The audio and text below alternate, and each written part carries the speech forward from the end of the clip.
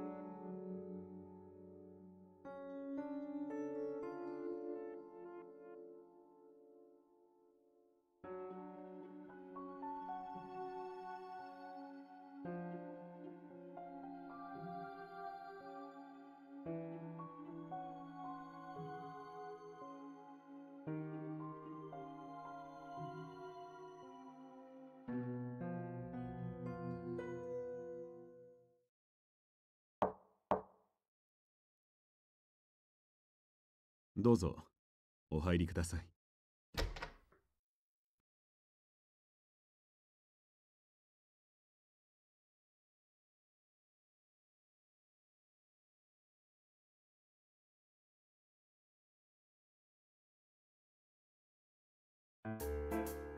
やあ久方ぶりですな。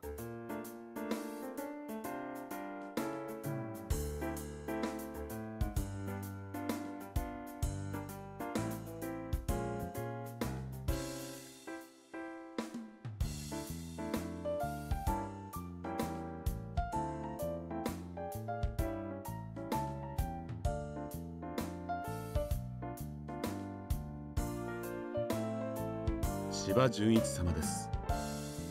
奥方様のご婚意にしておられる伯爵のご友人で先日の夜会にもご出席くださっていました。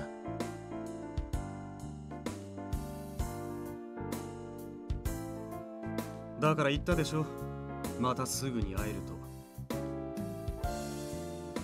と。あの夜会はなかなか賑やかだった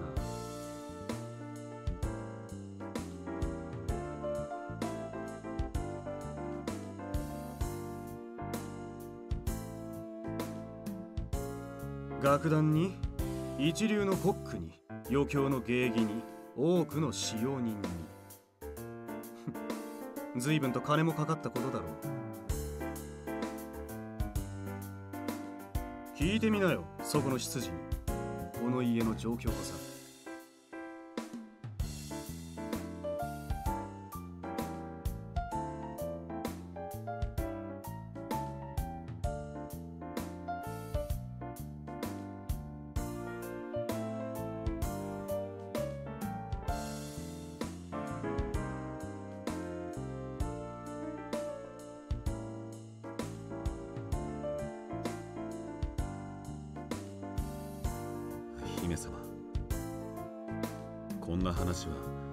様にするべきではありません。けれど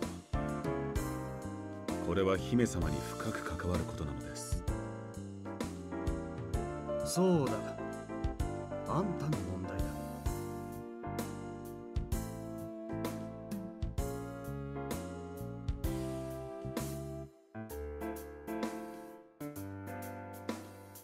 この家はもう持たん。遅かれ早かれ寝台限りになるだろうな。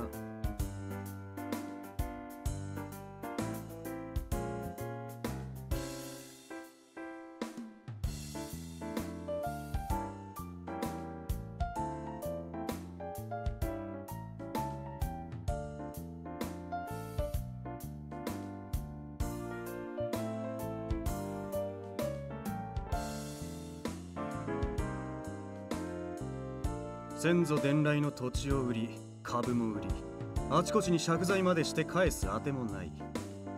残るはこの屋敷とわずかな骨董品だけ。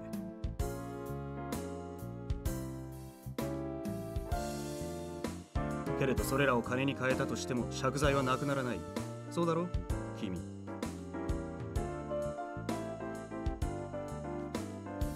残念な。がらつまり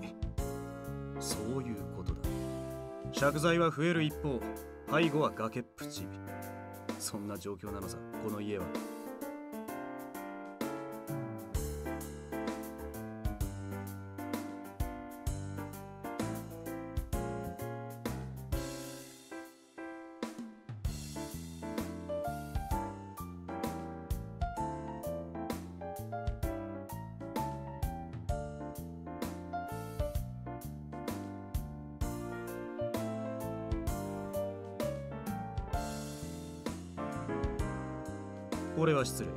手広く商売をやっているもんでね。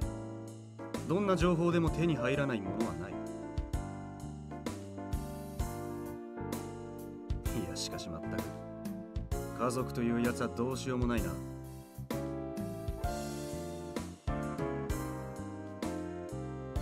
いくら貧乏しようとも当の本人たちは働きもせず優雅に怠惰に暮らしている。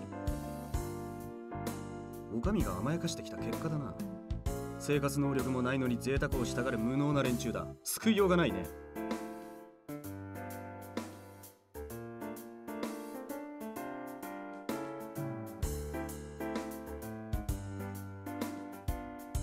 なぜだ？事実じゃないか。芝様まだ先代の殿様がお隠れになって間もないのです。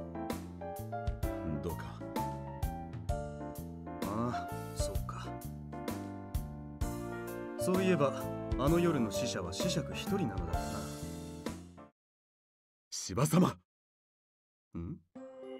どうした？まさかおひいさんには言っていなかったのか？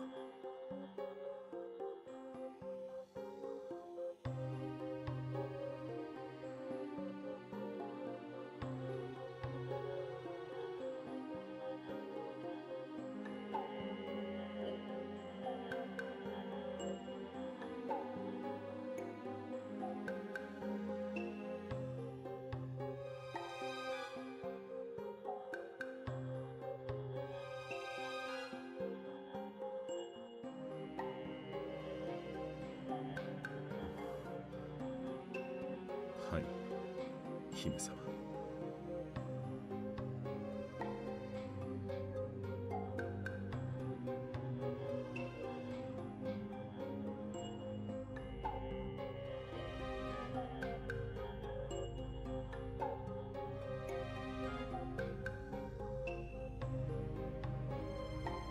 そんなに絶望的な顔をするな。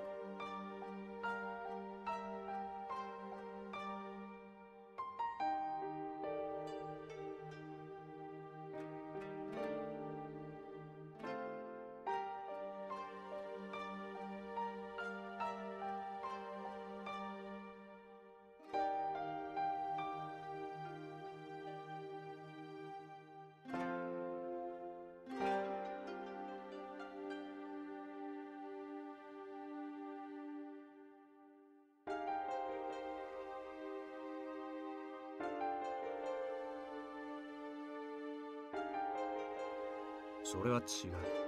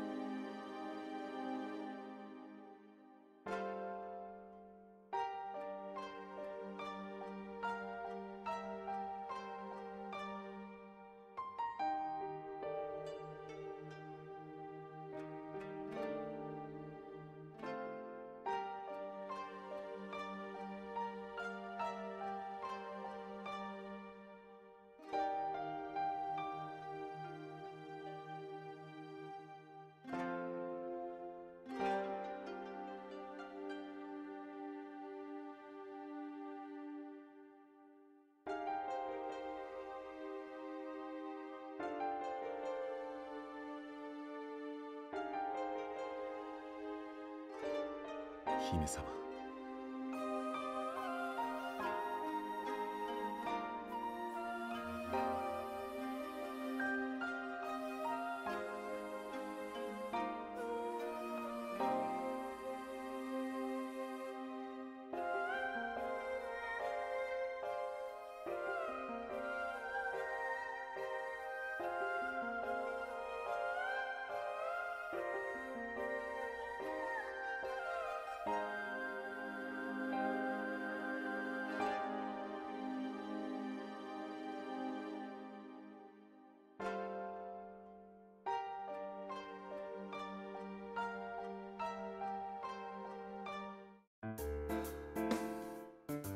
俺が助けてやる。俺が金を出してやる。と言ってるんだ。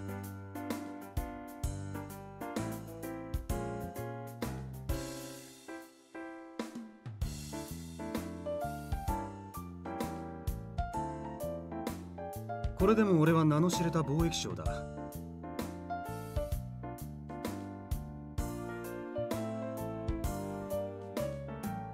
臭い北海道の開拓事業から成り上がって戦争に乗じて船で嫌というほど儲けた。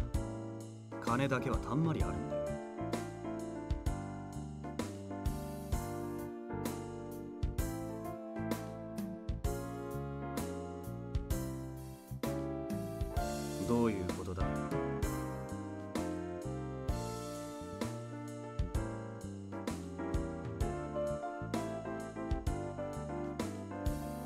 利用するだって？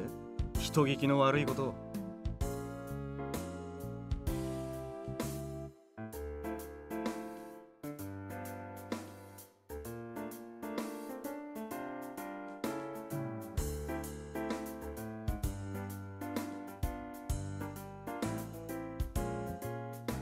なるほど。やはり。あなたはそこらの家族令嬢とは少し違うようだ。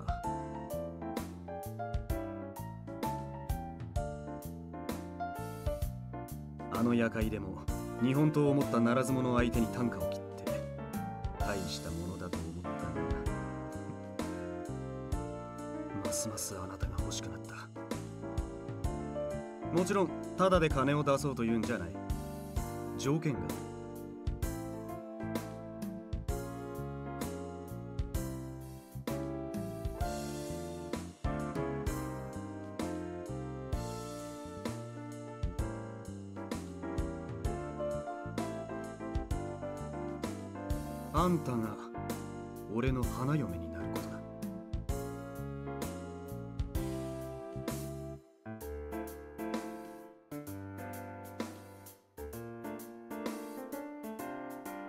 芝様。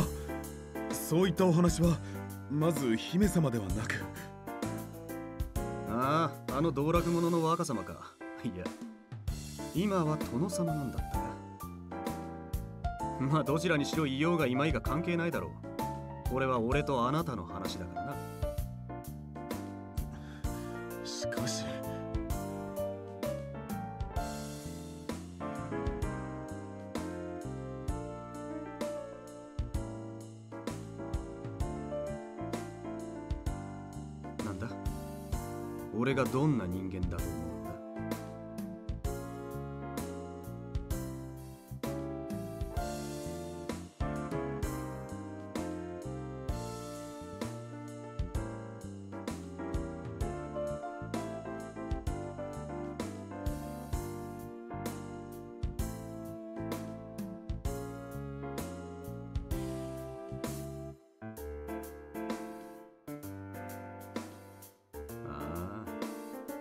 そう言うだろうと思っていた。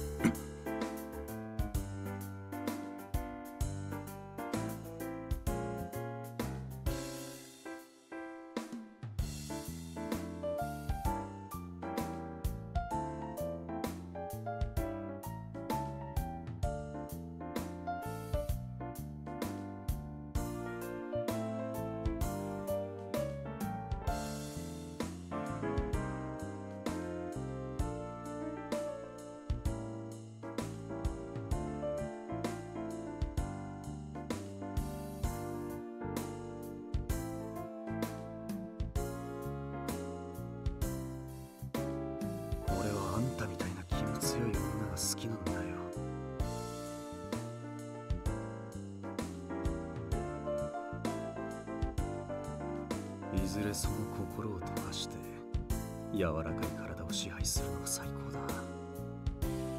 高貴な姫の肌はさぞかし滑らかなんだ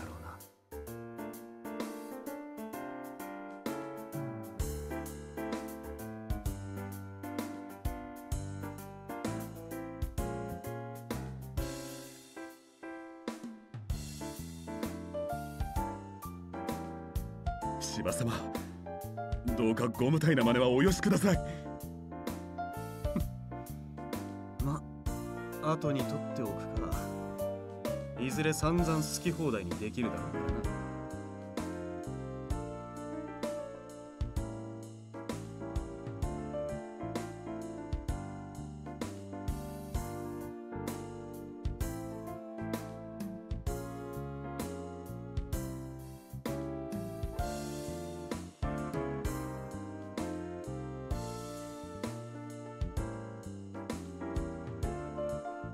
ああ分かった。今は帰ってやるよ。そんなに可愛い顔するな。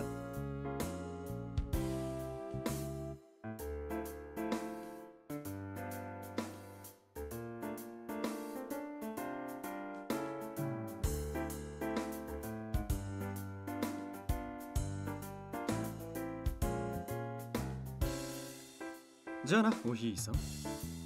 お楽しみ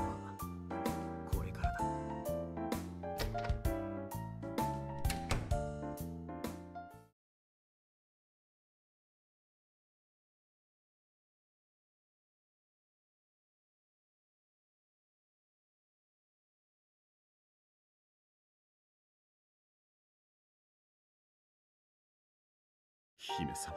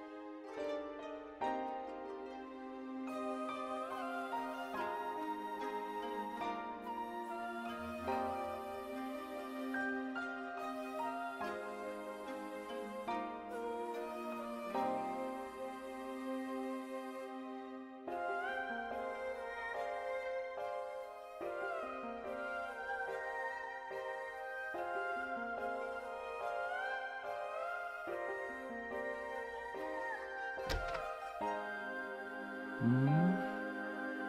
おやどうしたんだい？こんなところで。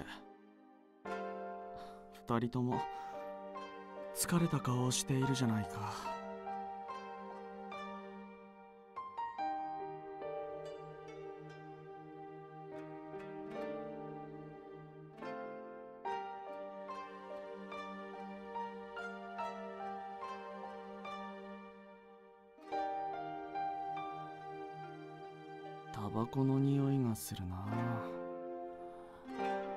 誰か来ていたのかい？